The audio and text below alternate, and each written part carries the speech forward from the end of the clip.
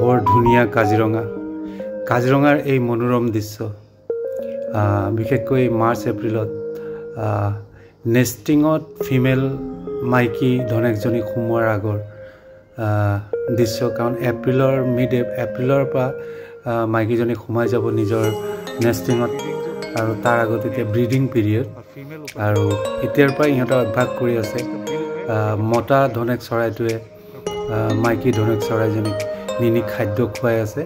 কাৰণ যেতিয়া মাইকী চৰাইজনী নেষ্টত সোমাই যাব তাৰ ঘৰত সোমাই যাব তো মতা চৰাইটোৱে বাহিৰৰ পৰা তাইক খাদ্য যোগান ধৰে। তিনি মাহ সেই ভিতৰত মতা চৰাইৰ সেই সেইটোৱেই দায়িত্ব থাকিব। কেৱল মাইকী মানুহজনীৰ মাইকী ধনেকজনী খাদ্য যোগান ধৰা। সেইবাবে সিহঁতৰ কি প্ৰকৃতিৰ কি ধুনীয়া নিয়ম কিমান ধুনীয়াকৈ সিহঁতে তেওঁলোকৰ ডিউটি কৰে। আমি বহুত কিছু এই প্ৰকৃতিৰ পৰা শিকিবলগীয়া আছে।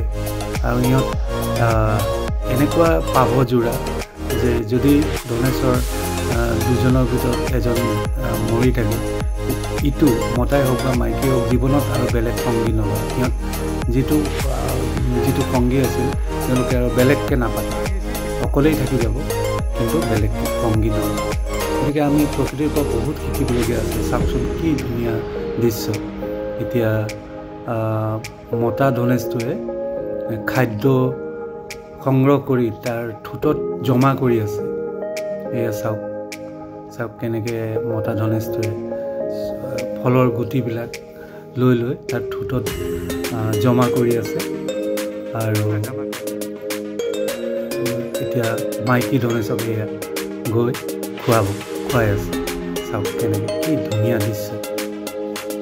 কাৰণ আগন্তুক তিনিমাহ এপ্ৰিলৰ পৰা যেতিয়া উমনি বহিব মাইকীজনী গছৰ খুৰুঙত কেৱল মতাটোৱে খাদ্য আনি খুৱাব কাৰণ তেতিয়া মাইকী মাইকী ধনেশজনী ওলাব নোৱাৰে। তিনি মাহ মতাটোৱে তাক এইদৰে খাদ্য খুৱাব। চাকি মনোৰম দৃশ্য।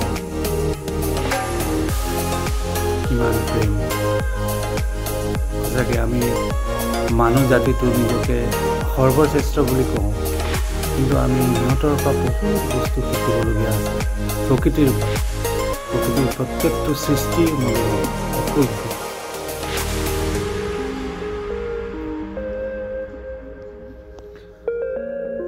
গ্ৰেট পাইট হৰ্ণবিল আৰু এই দৃশ্য আমি দেখিলোঁ। এয়াই প্ৰকৃতিৰ মনোৰম দৃশ্য। মই এই ভিডিঅ'ত তাকে গ্ৰেট পাইট হৰ্ণবিল তাৰ সেই দৃশ্য দেখুৱাবলৈ চেষ্টা কৰিলোঁ। আপোনালোকৰ যদি ভাল লাগিছে লাইক আৰু শ্বেয়াৰ কৰিব।